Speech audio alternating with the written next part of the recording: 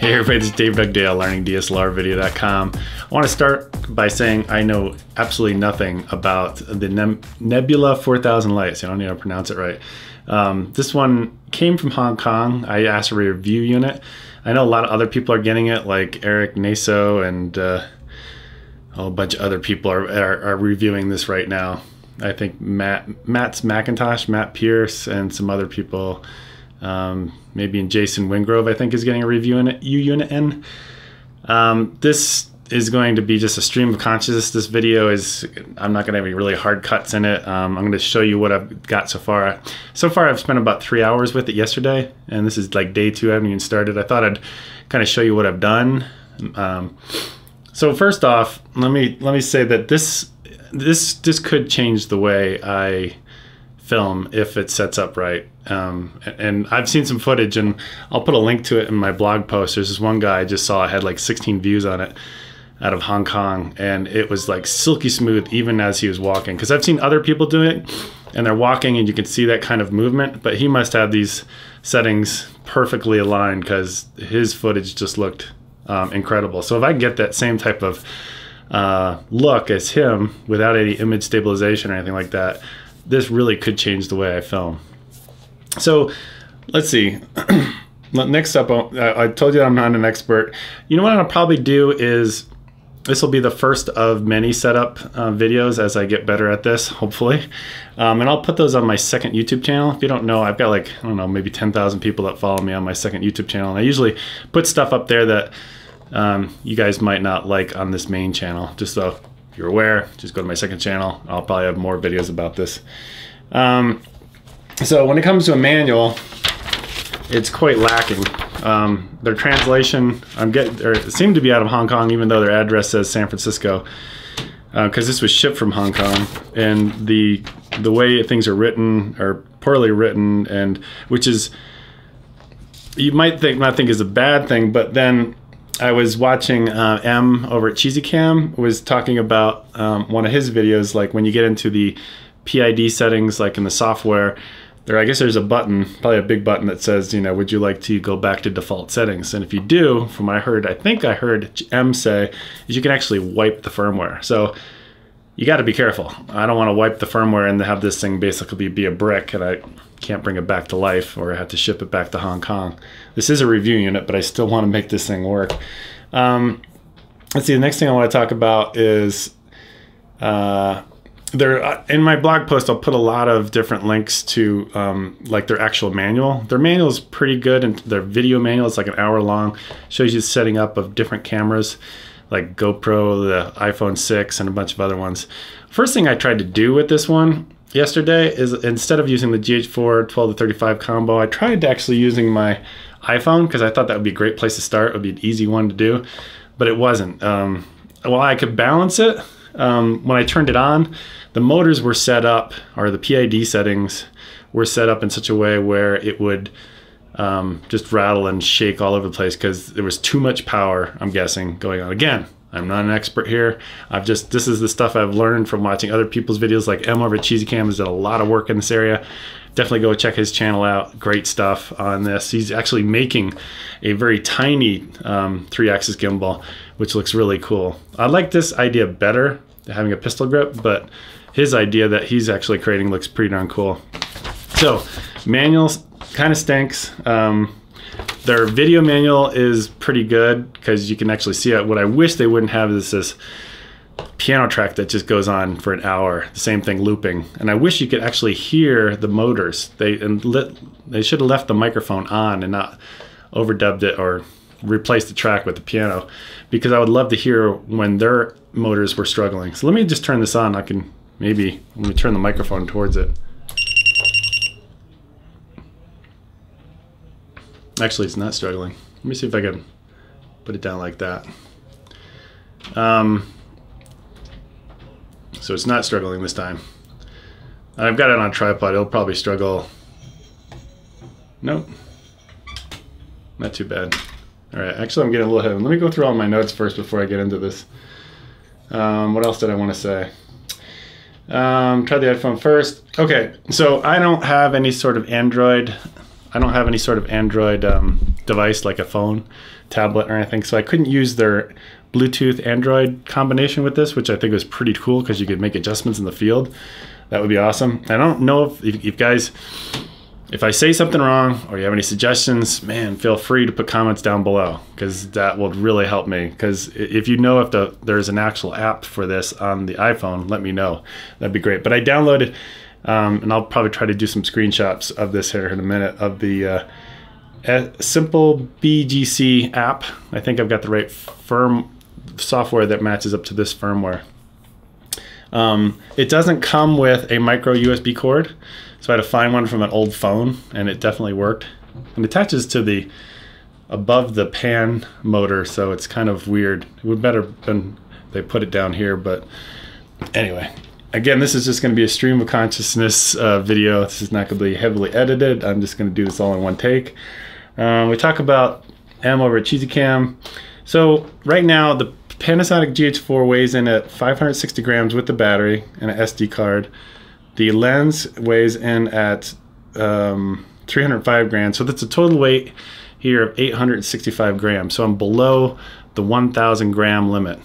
Um, I like grams. Grams are great. I don't know why these us English folk use pounds and ounces. It's the most ridiculous thing in the world. Sorry, I see, I would have cut that out um, if this was a normal video, but I'm just going to keep keep going here. It's okay. So what I'm going to do next is let's go ahead and let, I've got the unit turned off and let me show you some of the things that I'm dealing with in terms of uh, the way it's balanced. I'm gonna I only have this one camera right now, so I'm gonna cut. All right, they talk about balancing it to the point where you can put, hold it 45 degree angle. You can see I don't have that right now, or 45 degree angle. I don't have that right now. So what I'm gonna do is, this is the P, the pitch and tilt motor. This is the roll motor, and this is the yaw or pan motor. Um, so I actually labeled these because I know later when I get into the software, I'll probably be like, well, which one's which? The pan is pretty obvious because it's pan. So you got tilt, or I guess it's called pitch, and then roll, um, and then pan and yaw, or pan slash yaw, whatever. So you can see we're not balanced. So I've loosened up these four screws enough to just where I can bring it up and down and it'll actually stay in place. Um, so they kind of talk about in the manual how you're supposed to um, be able to leave that at a 45 degree angle or 45 degree angle. Unfortunately, like this eyepiece, which I can take off, which will balance up the balance or get rid of the balance a little bit. Sorry, I'm just going over a cold. But all right, so it's not balanced this way or this way. So what I'm going to do is move this up. So now it's, so you can probably hear my wife playing in the background. She's playing the piano. So right there it's staying at a 45 degree angle. 45 degree angle. So I'm to do is actually tighten this up because I had loosened that just a second ago. And now I'm off just from tightening that. Jeez. Okay. Let's loosen that a little bit. Push the camera forward. Push it back. I mean, these are small, minor changes.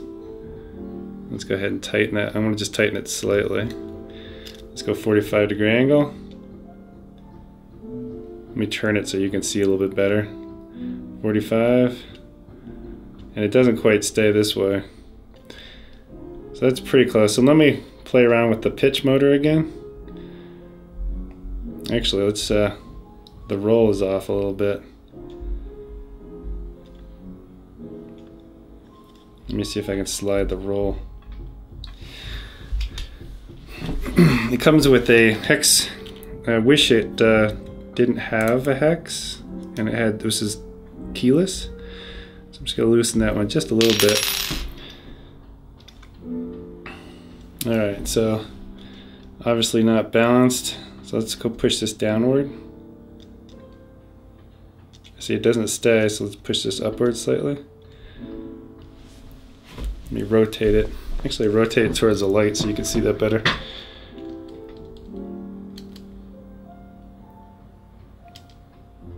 Let's see, right about there.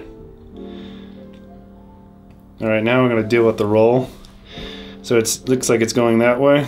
Let's face it towards you guys. And I'm gonna push the roll slightly that way. So the roll now will stay at 45 degree angles, but now the camera's off. So let's go back to this. I think what I'm gonna do is loosen this one and push this one. That's actually not too bad.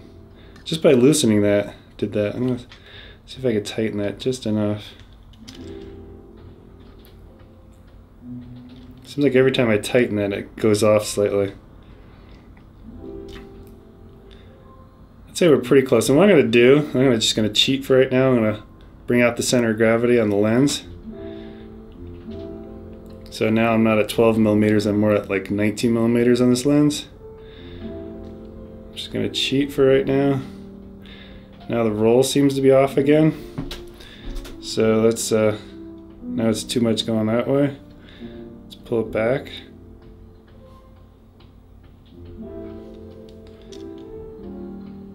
All right, so I'm just gonna tighten down one. I think I've got it pretty close. And just by the act of tightening, sometimes it'll screw it up again. That's why I wish this was keyless. And you, I don't know if you can see this or not, but I can barely get this wrench in. Um, because the iOS, um, and perhaps I put the uh, camera too close to the P pitch motor, which might be definitely the case. Let's go ahead and tighten this one. I'm trying to do this in such a way where you guys can see what I'm doing. I wish this was keyless. Like Emm over Cheesy Cam is developing his own, but it's not a pistol grip, but it's a nice small one, and he's doing it without any sort of motors. Uh, I'm sorry, any sort of uh, where you need tools. So now I think I'm pretty well balanced. So if I turn this on,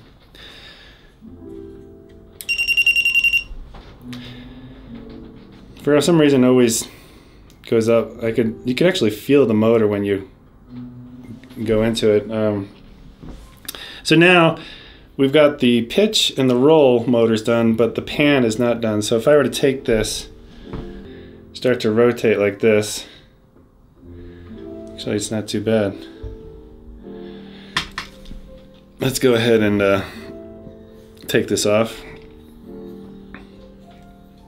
You want to make sure that I think this spins with the handle when you're doing on a tripod because you don't want to, I guess there's some cables that go down inside of there and you don't want to get those all kimped up by twisting this so much. So hopefully. So now if I, wait, I think I still have this on. Let's turn this back off again. Sorry. So this is off right now and you can see I'm looking for the um, the pan and you can see it looks like it's wanting to go that way all right next up in this uh, is this the sled adjustment and unfortunately you have to take all of the screws out and then you can slide it and then there's more um, holes along the sled that you would go into. So to make this adjustment is a real pain. Um, and I wish this was toolless. So I could see never doing this out in the field because you would be losing these uh, tiny little hex screws like left and right and that would not be cool. And I have a feeling inside the sled is the circuit board that controls all the PID, power settings, and all that stuff, the control board. So that control board, um, I don't, I'm sure there's circuitry inside of it and wires and solder and stuff like that. So when you move it, that uh, makes me a little nervous um, that I might be like dis uh, disconnecting or cutting a wire um, while I do this. So I don't know if that's the best design, but I don't know. So far, it just seems like it's pretty well built. Um, and it's, I don't know, maybe looks heavier than it actually is. It's not that terribly heavy. I'm on the last one here. Hope this is not like watching paint dry. But again, I wasn't promising any sort of great video out of this. But you can just see the amount of time it's taken me to unscrew all these. And I've never done this before, so um, I don't know exactly how to counterbalance this, but it shouldn't be too hard. I've watched the video quite a few times. So right now, I kind of feel it. You can actually see what's happening. This is actually, the weight of this is coming down, which is, I don't know, like I said, not very cool. um, so I think there's so much weight up above here, I'm going to have to counterbalance this by pulling this backwards. Um, and now I could probably still do this on the tripod, but I can bring this. How do you hold this? It's almost like you have to put one screw back in and you just have to guess. That kind of stinks. So there's one, two, three. That's all you get. There's only three adjustments. Okay. So that makes it easy. It's either the farthest for the one, you only get three adjustments, which of course he doesn't talk about in the video at all. So I'm going to move it as far that direction as I can. I'll put one of these back in, which is not easy because you have to line it up. Again, I don't want to mangle anything on that circuit board that's being attached to the uh, pan motor. All right, you just can't put in one. You have to put in at least two screws. So now it's not balanced. I'm just gonna temporarily try to balance it with, like it's gonna be a, almost have to have a third one in because the whole sled is tipping to one side. So you really have to put in you do have to put in quite a few. So if you're a GH4 owner with the 12 to 35, um, it looks like, like I said, the sled only has three positions. It looks like it's going to be the middle position. Uh, let's put this one in a little bit because then that should help my balance out. I'm not going to tighten it all the way. All right. So get this kind of where it needs to be. Okay, that, that'll help. You need to put at least one on either side. So the way they do it in their video is they tilt it to a 45 degree angle this way, and you can see it's not spinning this way or this way. It's not spinning this way. It's not spinning that way. 45 degree angle this way. It's not spinning. So that is the correct one. So I'm going to go ahead and button these up. All right, I want you guys to hear something. So I'm going to point the microphone as close as I can to this so you can actually maybe hear this. And let me rotate this so you can actually see me doing one. But when I tighten these, it actually makes a crunching sound.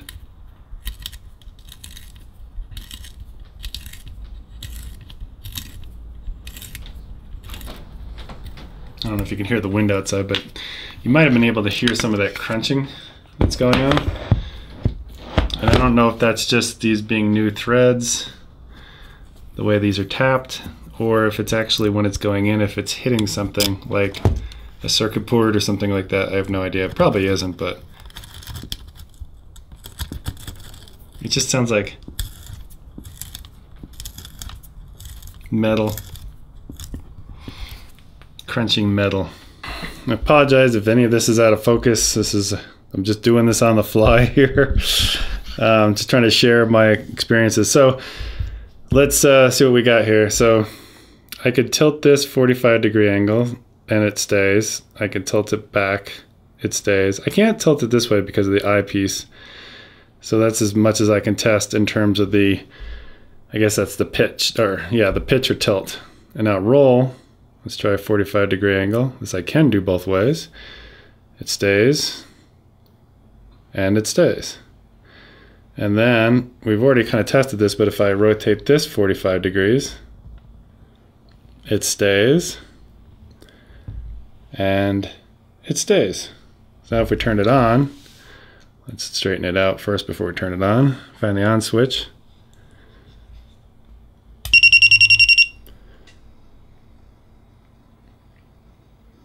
It always seems to want to point up. I can always take it and click it one more like that. Now if I pick it up, uh, let me pan out for you guys, hold on. So if I rotate this way, bring it down, just help the motors out a little bit. And I have no idea what mode I'm in, but this is what I've got so far. Looks like it's in some sort of follow mode. But if I turn this way, it doesn't completely go in the direction of where I am, like right here. So let's, uh, since I don't know what mode I'm in, let's press it once. Give it a second.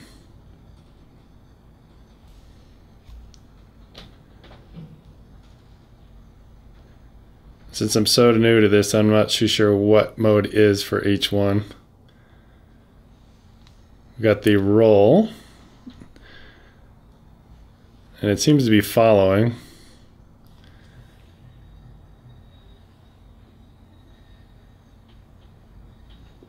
Let's try hitting the switch twice. It doesn't make a different sound when you hit it twice, like do do do do do do. Now this might be fault. This might be. I don't know what is. So let's hit it three times.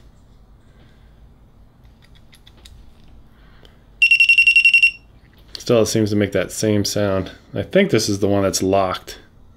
Yeah, it looks like it's locked. But it's locked down, so I don't. Maybe I've got to do the. Uh, what do they call the PID setting? Recalibrate. See, it's like, whoa, what are you trying to do to me? Let's turn it. So what I'm going to do at this point is just leave it where it is. Or I, I published the video now, and I'll probably keep working on it, and I'm going to probably start getting into the software next. But I thought I'd put this out there since, again, like there's a lot of people in the same boat as I am in terms of what's going on. I can see the screen actually fairly well. You can't flip the screen out going this direction, unfortunately, on the GH4. So I think I've got some PID settings I have to set up next um, because because I don't know what I'm doing. so again, if you guys have any suggestions, ideas, um, things I should try, if I'm holding the handle totally backwards, for instance, which I probably am, Actually, I think I am. Maybe it's supposed to be actually this way. So there's a ton of things I think I need to do and connect up the software to here, which I've already done once and it is working. There's a bunch of software you have to download in order to do that. And I will put that on my blog post, what I've done in terms of software. So if you're following along and you just got one of these and maybe this video is helpful at least a little bit, um, you can at least see the mistakes I'm making, like it going the wrong direction, for instance. Um, so that's pretty much it. I'll talk to you guys later. Bye.